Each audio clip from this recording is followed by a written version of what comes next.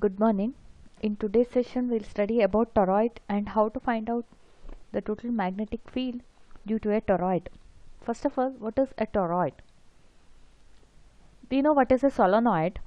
So, if you bend a solenoid to form a closed loop, then we can call it as a toroid. So, as shown in this figure, a solenoid bent into the form of a closed loop is called a toroid. A solenoid bent into the form of closed loop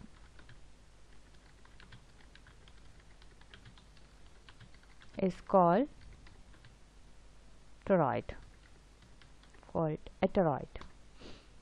Now here in this figure you can also mark the current direction let us say the current enters this point and comes out at the other end.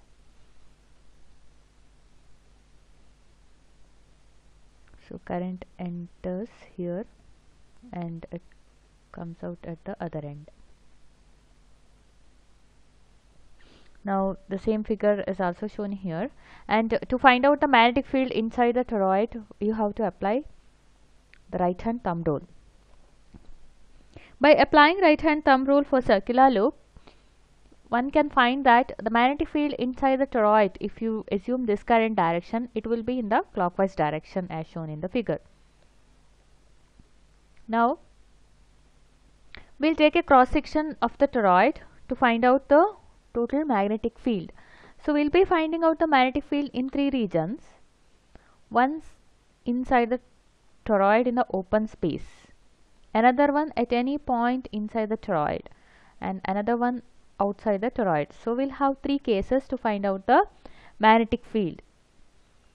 Now for that what we do is we'll take a cross section and then we will apply Ampere's circuital law. Now in this case as the current enters this point at this end so all the point inside the toroid here I can mark it as cos because current enters or you know current goes into the plane of the paper. So all this point for me here I have marked it as cross. The other end wherein the current appears to come out of these ends. So they are all of dot type.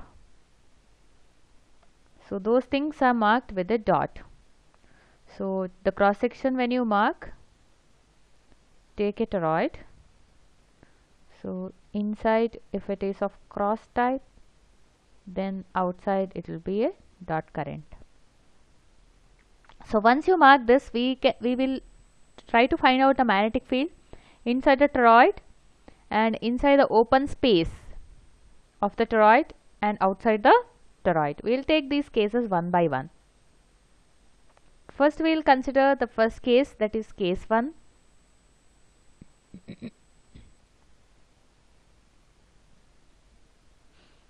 magnetic field inside the toroid.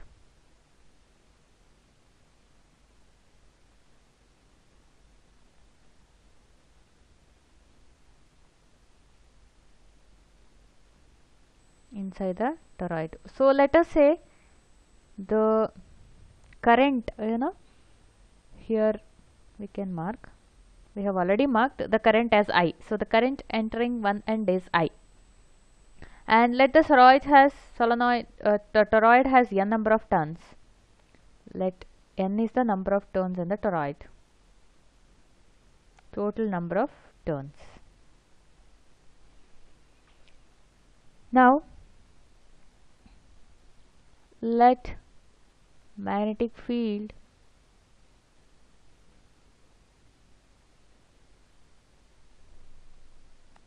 inside the at any point at a distance r from it is let the magnetic field inside the toroid is b. Okay as shown in this figure see magnetic b. So b at each point is tangential and if you take the total b it will be in the clockwise direction. Now to apply so we are finding out magnetic field let us say at a distance r from the center of the toroid. So let us say we need to find out magnetic field at this point which is at a distance r from the center of the toroid. Now assume that the magnetic field at this point is B.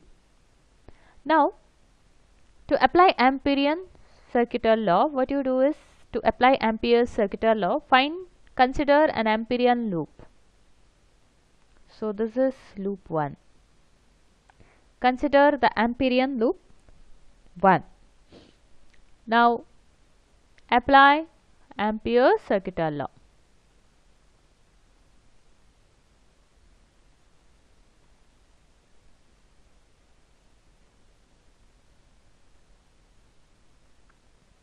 So what do you get? Now applying Ampere's circuital law we know that closed integral of B dot dl is mu naught into the current threading the loop. Now first we have to find out what is the current threading the loop IE. IE is the current threading this loop. Now consider the loop 1. The current threading the loop or current which lies inside this loop is all these cross currents.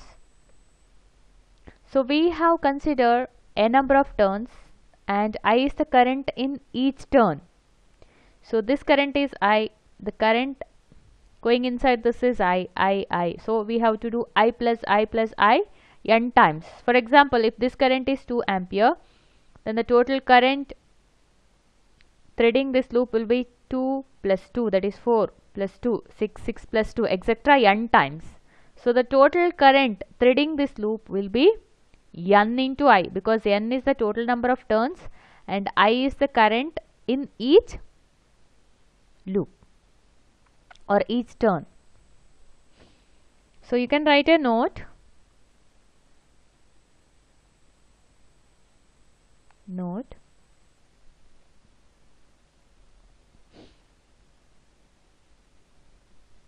Toroid has n turns.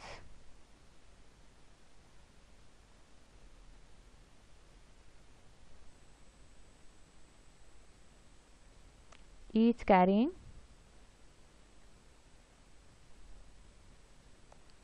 current I.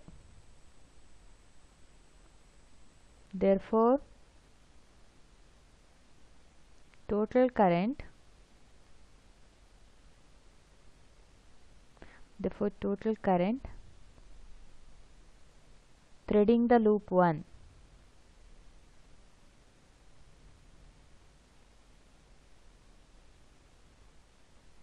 1 is n into i and now b and dl are in the same direction so that dot goes. So we can directly write as, as closed integral of b dl closed integral of b to dl as mu naught into n into i. Or this can be written as closed integral b I can take it out. Dl is mu naught into ni so now the total closed integral of dl will give you the circumference of that uh, loop that is 2 pi r. R is the radius of the loop. Therefore this will be equal to b into 2 pi r equal to mu naught ni or we can write B is equal to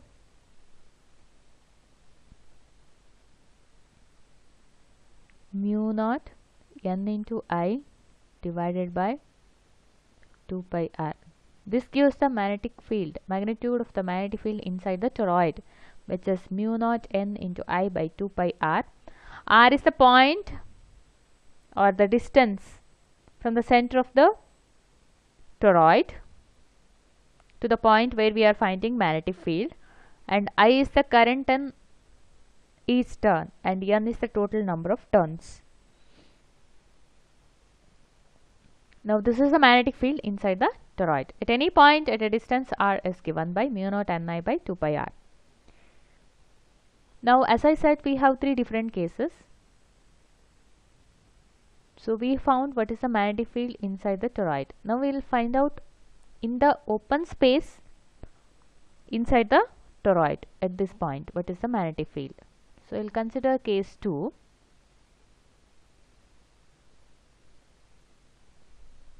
Case 2. Magnetic field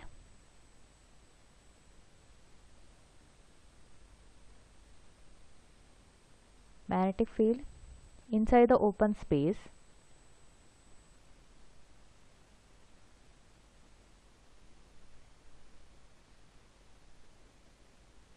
interior of the toroid.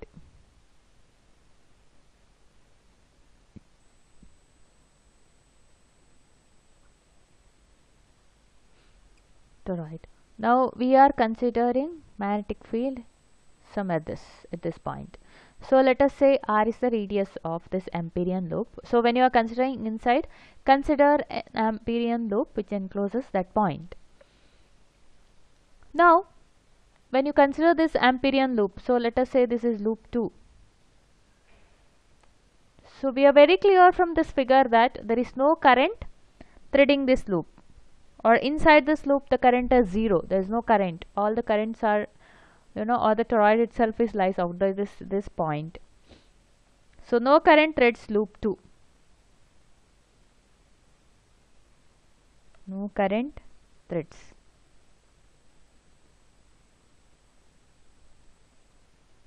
loop 2